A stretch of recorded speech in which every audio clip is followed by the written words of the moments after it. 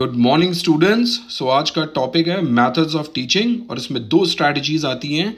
एक होती है टीचर सेंटर स्ट्रैटेजी और दूसरी होती है learner centre strategies right first strategy is teacher centred strategy this strategy includes basically three things number one content presentation through projection means through TV और through some video presentation next is group teaching and the third one is lectures So, what is basically about uh, the content presentation through projection? It's simply to give the presentation or to show some demonstration over TV or some uh, projectors which reflect the video presentation to the student. Group teaching involves when a teacher is teaching in a group.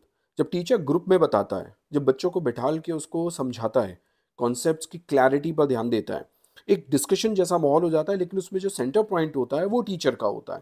That is called as the group teaching okay then उसके बाद आता है lecture method this is the very common method lecture method को हम लोग इस तरीके से समझ सकते हैं कि जब भी हम क्लास में जाते हैं स्कूल लेवल कॉलेज लेवल तो क्या होता है कि टीचर एक वेल प्लान तरीके से आता है और वो अपनी प्लानिंग को प्रेजेंट करता है किस तरीके से? स्टूडेंट के सामने सो दैट स्टूडेंट को क्लियर हो सके कि यस लेक्चर में एक टॉपिक का आज कंटेंट पूरा का पूरा सर ने हमें क्लियर करवा दिया और आज पढ़ा दिया है।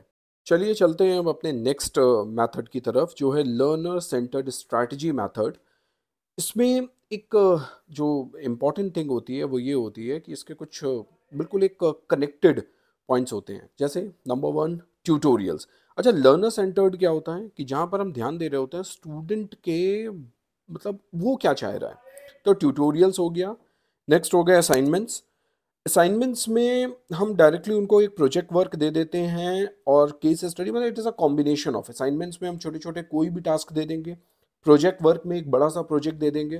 केस स्टडी में हम उनको एक प्रीवियस बेस्ड पर कॉन्सेप्ट पर एक ऑलरेडी एक केस दे देंगे that is called as case study then होता है प्रोग्राम्ड इंस्ट्रक्शंस प्रोग्राम्ड इंस्ट्रक्शंस क्या होती है? जैसा कि वर्ड बता रहा है कि इंस्ट्रक्शंस तो दे रहे हैं बट एक प्रोग्राम्ड वे में इट मीन्स कि किसी काम को करने के लिए इंस्ट्रक्शंस टीचर की टाइप से प्रोवाइड करवाई जा रही है, जिससे कि स्टूडेंट को दिक्कत ना हो। देन होता है computer assisted learning computer assisted learning क्या करती है? कि कंप्यूटर बेस्ड आपको वो मिलते रहते हैं इंस्ट्रक्शंस मिलते रहते हैं। मतलब एक प्री एक सॉफ्टवेयर होता है जो काम कर रहा होता है, जिसमें instructions learning instructions directly clearly given होते हैं। नेक्स्ट आ जाते हैं हम लोग इंटरेक्टिव वीडियोस इंटरेक्टिव वीडियोस आप ऐसे समझ सकते हो कि वो वीडियो एक वीडियो प्रेजेंटेशन के थ्रू चीज़ें बताई जा रही होती हैं, जिसमें अगर स्टूडेंट चाहे तो कोई चीज़ पूछ सकता है और इमीडिएटली टीचर उसका रिस्पॉन्ड दे देगा। फिर एक होता है ओपन लर्निंग ओपन लर्निंग क्या होता है कि बुक के साथ हमने बैठाल दिया। कोई भी चीज़ है, कोई भी कॉन्सेप्ट है डायरेक्टली आप पढ़ सकते हो बुक से देख सकते हो और उन चीज़ों को कॉन्सेप्ट क्लैरिटी के साथ क्लियर कर सकते हो। ठीक है? तो एक बड़ा इजी मेथड होता है, इसमें सिर्फ़ आपको ये जो पॉइंट्स है ना, बस इनको याद रखना है ओके स्टूडेंट्स आज के ये दोनों टॉपिक मैंने कंप्लीट कर दिए हैं। आज छो, थोड़े छोटे टॉपिक थे। मैंने कहा कि थोड़ा इधर गैप के बाद एक मतलब दो छोटे छोटे टॉपिक्स होने चाहिए सो दैट कि आप पुराना रिवाइज करते रहें।